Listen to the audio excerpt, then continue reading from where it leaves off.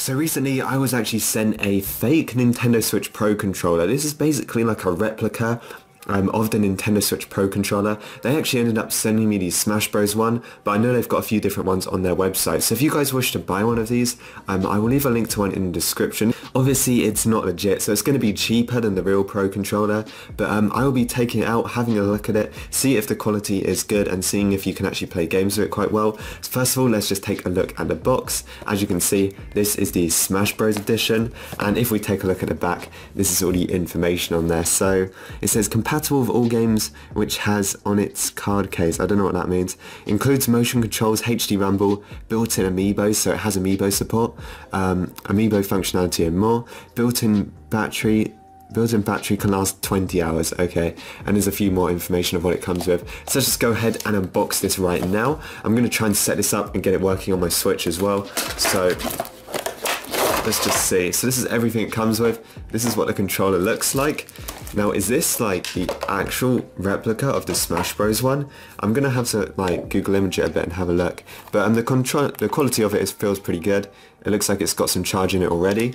Let's just press all the buttons. It does feel pretty good. I mean, if one of my friends handed this to me, I probably wouldn't be able to tell if it was fake or something. Um, that is the back of it. There's like the there's like a small button, that like a reset button or something? And then there's like a port next to it. Obviously we've got left and right. Everything seems to press okay, to be honest. Everything seems to click pretty well. So yeah, that is the controller. Um, it's got the screws down here. I don't know if that's on the real one. And obviously that's the back as well. So I might just have a look on Google Images and see if this looks like the real one or not. Okay, so the first big difference is obviously the Nintendo Switch logo is not on there. How much is um, the Smash Bros controller? I'm just going to have a look. Is it actually expensive? Let's just have a look on Amazon right now. So, it's over a hundred pounds? What the heck?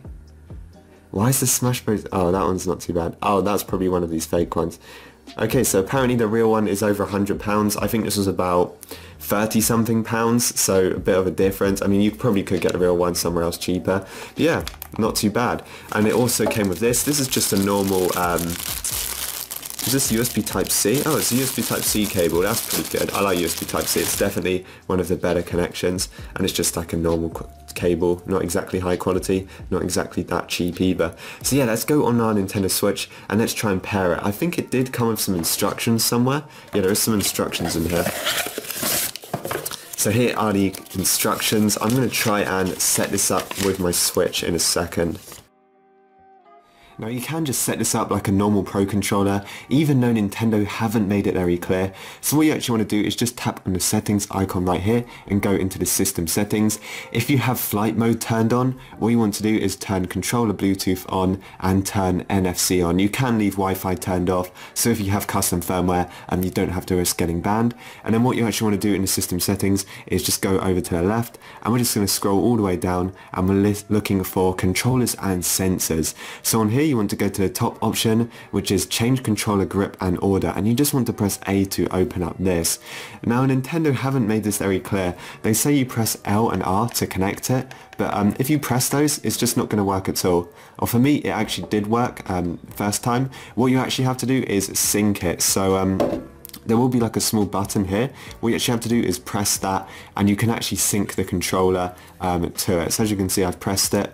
We're then going to wait and as you can see it's going to pair it again. So there's two ways of doing it. Press L and R or the sync button and then you just want to press A and there you go. You can now go back and your controller will be working. So we can then go and test out a game. Let's test out some Skyrim.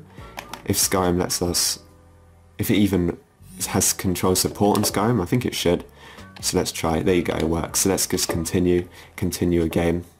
And um, yeah, so that is pretty much how you do it. This controller, completely fine. It feels pretty good. It's not like, it's pretty solid. Doesn't feel like I can pull it apart or anything. Sometimes fake controllers on consoles are very kind of cheap made. This is pretty high quality. It doesn't rattle or anything like that. You know, it's got um, it's got a nice weight to it as well and it feels pretty good. It looks exactly like the legit version obviously but we're missing the logo. So let's just wait for Skyrim to load and um, yeah I'll try some Skyrim gameplay.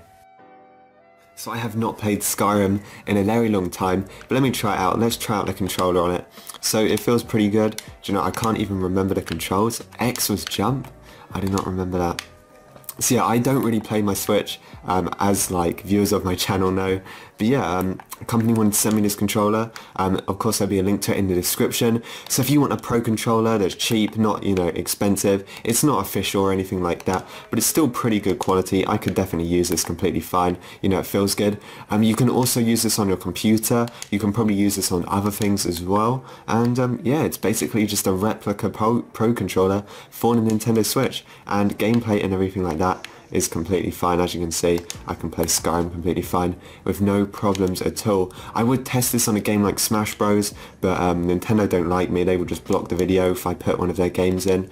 And um, yes, yeah, so that is pretty much it. This is the Replica Pro controller. Well, this is the Smash Bros edition. They also have Splatoon and the regular one. So that's pretty much it for this video. If you guys would like one of these, make sure to check them out. They're pretty cool. Maybe I will make a video on how to use this on your computer as well. So if you guys enjoyed, make sure to like and subscribe and I will see you guys in the next one.